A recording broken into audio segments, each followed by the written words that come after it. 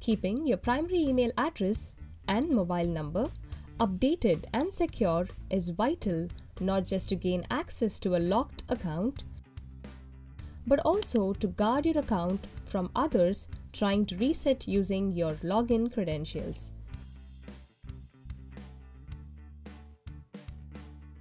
We'll now guide you through the process to update your email address and mobile number. Log into your Zoho Mail account.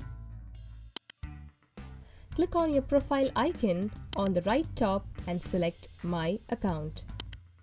Select Profile from the left pane. Select Email Address. Select Add Email Address. Enter your email address Enter the OTP sent to the provider email address for verification. Once verified, you can set this email address as primary by hovering over the email address on the list and clicking Set as Primary Address.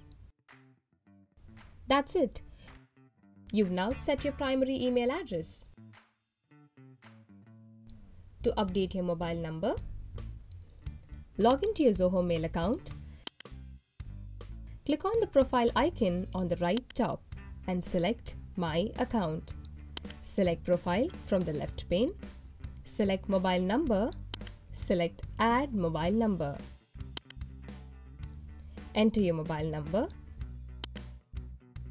Enter the OTP and click Verify. Once verified, you can set this mobile number as primary by hovering over the number on the list and clicking Set as Primary Number. That's it. You've now updated your mobile number. By following these simple steps, you can easily update your primary email address and mobile number. Thanks for watching.